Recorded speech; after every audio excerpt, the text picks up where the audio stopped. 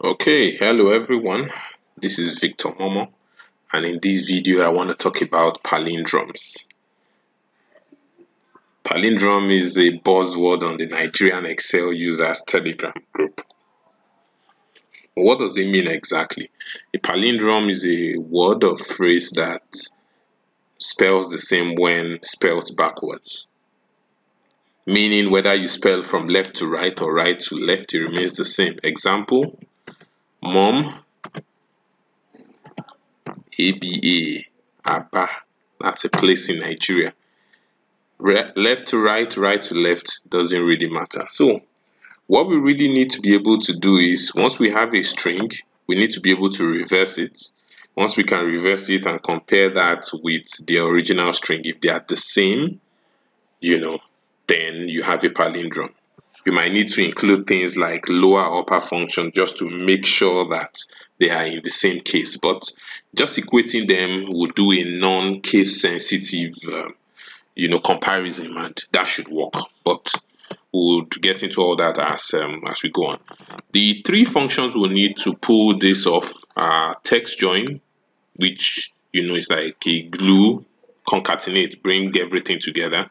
We need mid. Mid allows you to extract you know individual characters from a string, and we'll need the sequence function, which allows you to create a sequence of you know numbers. Well, depending on you know what your objective is. But I think as we get in, you would get a better hang of it. So let's start off from the mid function.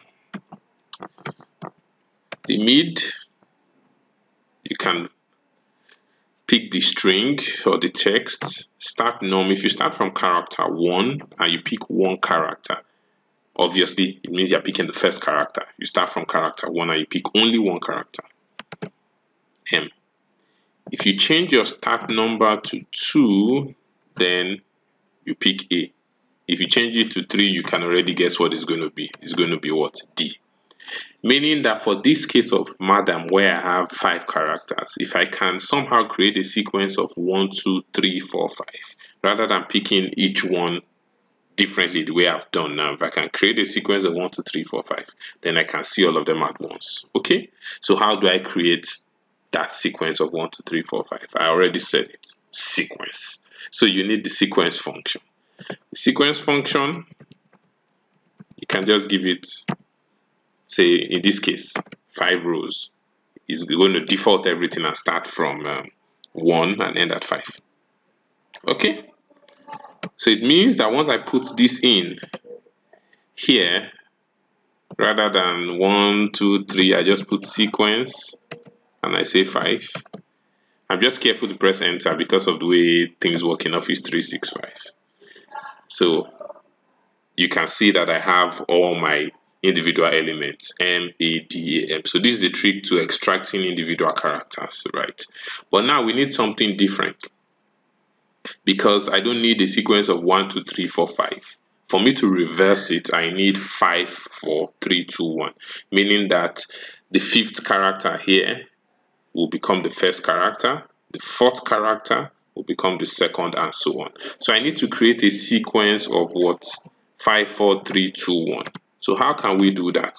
We can still use the sequence function, but we just need to be a little more creative.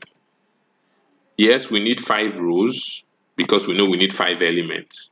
For the columns, I can default this, leave it, it will default to one, but let me explicitly put one there. For my stats now, this is where you want your string to start from. What should be the first number in your sequence? I want it to be 5. What's my step? That's the difference between, you know, um, character 2 and character 1, number 2, number 1. In this case, I do minus 1, right? So that it starts from 5, it goes down to 4, 3, 2. You can keep going, but because you've already said that it's going to be in 5 rows, it will limit it to 5, you know, values. So Let's evaluate that. So you see we have our 5, 4, 3, 2, 1. Okay, so once we put that 5, 4, 3, 2, 1 into this expression here, you know, we should be fine. So we take out this one, which does it from left to right or incrementing, and then we put our new one in there. So let's evaluate this. I keep evaluating as I go. That's the way I see what's going on. You can see that your lowercase m, which is the fifth character, is now the first A, D, A, M. So we've successfully done that, the reversal. The only thing we need at this point is just um, to glue them together because the way they are now, they're existing as individual elements, but we need to bring them together. And that's where the text join comes in. So we have the text join. The first thing is the delimiter. We just want to glue them together that way with nothing in between them. So I don't need this. For the um, ignore empty cells, I can ignore that because it's not applicable in this case. And then I close my brackets. Okay? Right. That's how it will work. The only thing we need to change here now is that what we've done is we've hard coded the 5 so we need to change that 5 to the length of this string right? So that as you move from cell to cell, it adjusts itself accordingly. As you can see now, it's only picking five characters for all of them. So rather than five for this, we just need to say what? len a2 and these other five too, we change it to what? len a2. Let's go. Okay, so once you have this now, you can then test. You can do a simple test. You can just test, is this equals to this? True. Okay, there will be some tricky ones in there. I know this was one of the very controversial dates when it came. Oh, okay, is it palindrome? Is it not a palindrome? Is a palindrome in all date formats, whether day, month, year, year, month, day, month, day, year, and all that. But yes, you can see truly, truly, it is a palindrome. The only one you have issues with here, uh, you know, the numbers, right? Because these numbers are exactly the same, but what's the difference? The difference is that one is seen as what? String, one is seen as what a number. So this is seen as a number, this is seen as a string. And that's the reason why it's saying, you know, they are not the same. If you did something like this, just change this to lower, you know, of course, once you use lower, which is obviously for text, it will convert that number into text and test with lower this, right? Okay, that fixes that. The others are fine. You can, you know, take that up if you want, and that's true. You could also have maybe used, you know, like uh, maybe the value function, something to test that, you know, but the key thing here is that you just need to create a sequence that reverses the order from 1 to n to n to 1 you know it just does it in the reverse. And once you can get all the individual pieces together using the mid function you can then use text join to glue them all together.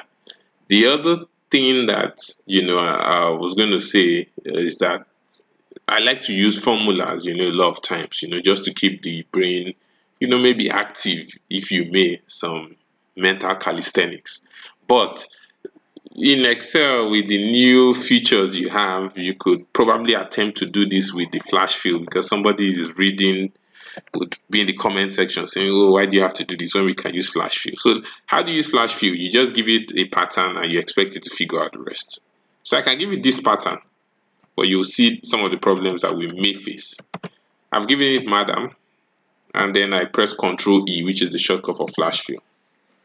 Now you see that it isn't doing it correctly. It's seeing a pattern, but it's seeing a totally different pattern. What it's seeing is that I'm picking four characters, and then the fifth character is always the same as the first, but just that it's capitalized. So you can see it picks the first four here, TUSS, then it capitalizes the T again. It does the same for ladder, but that's not the pattern.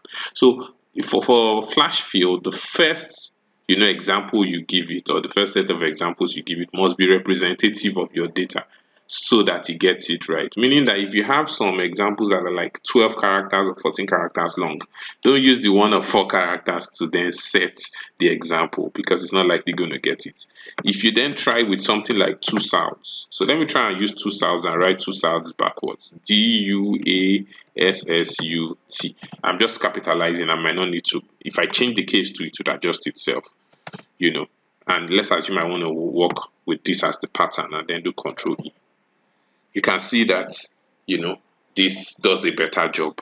Because south being a little longer he was able to see that okay this guy is actually reversing the string. But the madam thing because of the m and ending with m he got confused thinking like you were actually repeating the same character. So you know it's it's tricky. You just have to know what example to use first.